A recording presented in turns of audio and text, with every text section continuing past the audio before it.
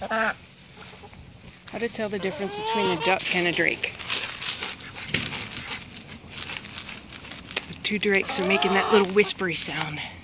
The duck makes a loud quack. The duck is buff. Come on. That's a drake. Also has a curly tail feather. Right there on the top of its tail. So does he.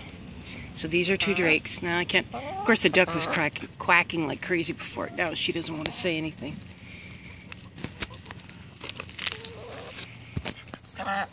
There we go. She just made a nice loud quack. There we go. That's a duck. That little whispery er, er sound. That's a drake.